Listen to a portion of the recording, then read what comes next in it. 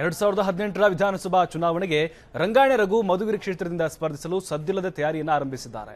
ಮೂಲತಃ ತುಮಕೂರು ಜಿಲ್ಲೆಯ ಪಾವಗಡ ತಾಲೂಕಿನವರಾದ ಇವರು ಪಕ್ಕದ ತಾಲೂಕಾದ ಮಧುಗಿರಿಯಿಂದ ಸ್ಪರ್ಧೆ ಮಾಡೋಕೆ ಇಂಗಿತವನ್ನ ವ್ಯಕ್ತಪಡಿಸಿದ್ದಾರೆ. ಕಳೆದ ಬಾರಿ ಟಿಕೆಟ್ ಸಿಗದ ಕಾರಣ ಸ್ಪರ್ಧೆಯಿಂದ ದೂರ ಸರಿದಿದ್ರು. ಆದರೆ ಈ ಬಾರಿ ಮಧುಗಿರಿಯಿಂದ ಸ್ಪರ್ಧೆ ಮಾಡೋಕೆ ಅಣಿಯಾಗ್ತಾ ಇದ್ದಾರೆ. ತಮ್ಮ ಅಭಿಮಾನಿಗಳೊಂದಿಗೆ ಜೆಡಿಎಸ್ ರಾಜ್ಯಾಧ್ಯಕ್ಷ ಎಚ್ ಡಿ ಕುಮಾರಸ್ವಾಮಿ ಅವರನ್ನ ಭೇಟಿಯಾಗೋಕೆ ರಂಗಾಯಣ ರಘು ಅಣಿಯಾಗ್ತಾ ಇದ್ದಾರೆ. ಅಭಿಮಾನಿಗಳ ಒತ್ತಾಯದ ಮೇರೆಗೆ ಮುಂದಿನ ದಿನಗಳಲ್ಲಿ ಕುಮಾರಸ್ವಾಮಿ ಅವರನ್ನ ಭೇಟಿ ಮಾಡಿ ಮುಂದಿನ ನಿರ್ಧಾರವನ್ನು ತೆಗೆದುಕೊಳ್ಳುವುದಾಗಿ ಅವರು ಸ್ಪಷ್ಟಪಡಿಸಿದ್ದಾರೆ ಅಂತ ಹೇಳಲಾಗ್ತಾ ಇದೆ.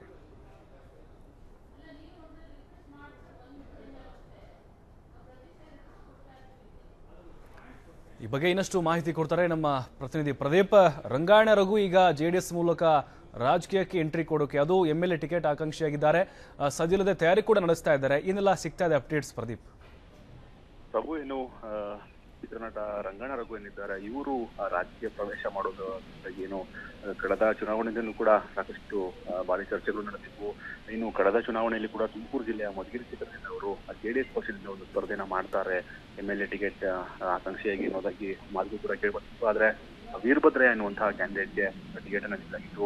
ಆದ್ರೆ, ಈ ಬಾರಿನೂ ಕೂಡ ಏನು ತುಮಕೂರು ಜಿಲ್ಲೆ ಮಧುಗಿರಿ ಕ್ಷೇತ್ರದಲ್ಲಿ ಜೆಡಿಎಸ್ ಪಕ್ಷದಿಂದ ವೀರಭದ್ರಯ್ಯ ಅನ್ನುವಂತ ಏನು ಟಿಕೆಟ್ ಆಕಾಂಕ್ಷಿ ಏನಿದ್ದಾರೆ ಅವರು ಈಗಾಗಲೇ ಕ್ಷೇತ್ರದಲ್ಲಿ ಏನು ಸಾಕಷ್ಟು ಹೋರಾಟವನ್ನ ಏನು ಶುರು ಮಾಡಿರುವಂತದ್ದು. ಆದ್ರೆ ಈ ಬೆನ್ನಲ್ಲೇ ಇದೀಗ ರಂಗಾಯಣ ರಘು ಅವರು ಮಧುಗಿರಿ ಕ್ಷೇತ್ರದಿಂದ ಸ್ಪರ್ಧೆ ಮಾಡ್ತಾರೆ ಅನ್ನೋದಾಗಿ ಮಾಹಿತಿ ಕೂಡ ಹರಿದು ಬರ್ತಾ ಇರುವಂತದ್ದು ಇನ್ನು ಈ ಕುರಿತಾಗಿ ಸ್ವತಃ ರಂಗಾಯಣ ರಘು ಅವರೇ ತಮ್ಮ ಆಪ್ತ ವಲಯಗಳಲ್ಲಿ ಏನು ಹೇಳಿಕೊಂಡಿರುವಂತದ್ದು ಅಂದ್ರೆ, ಈ ಬಾರಿಯ ಏನು ಮುಂದೆ ಬರುವಂತಹ ಎರಡ್ ಸಾವಿರದ ಹದಿನೆಂಟರ ವಿಧಾನಸಭಾ ಚುನಾವಣೆಯಲ್ಲಿ ನಾನು ಮಧುಗಿರಿ ಕ್ಷೇತ್ರದಿಂದ ಜೆಡಿಎಸ್ ಪಕ್ಷದಿಂದ ಸ್ಪರ್ಧೆಯನ್ನ ಮಾಡ್ತೇನೆ.